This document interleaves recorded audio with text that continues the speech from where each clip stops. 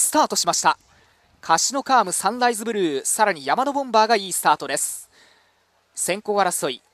最内から1番サンライズブルーが出を伺います。さらに3番山のボンバー。外から13番駅前。間から9番ペアンも行きます。前の4頭です。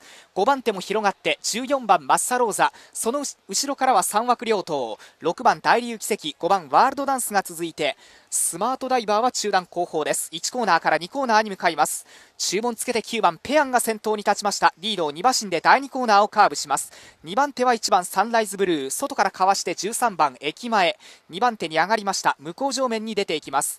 4番手は集団で。3番山のボンバー。さらに内から5番ワールドダンス。外に6番大流奇跡。3頭固まっています。そこから3馬身空いて中段に12番トゥインクリング16番スマートダイバーは中段から先頭までは8馬身です。その後は8番カシノカーム中段から後ろに2番セレッソレアル外は14番マッサローザ。3コーナーをカーブしてあとは7番大西クルーズは後ろから34頭目。そのうちには15番のファイヤーロック34コーナー中間に向かいます。後方に4番栗の寿老人11番名称紳士や最高峰が10番萩野セゾンという展開です。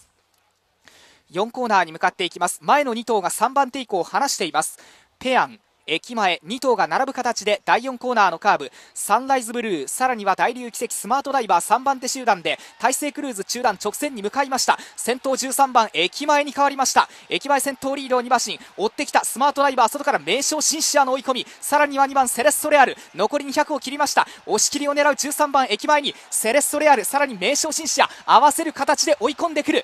名将シンシアが差し切って先頭。2番手はセレッソレアル。抜けました。11番名将シンシア先頭ゴールイン。2着は2番のセレッソレアル。3着に粘った13番駅前です。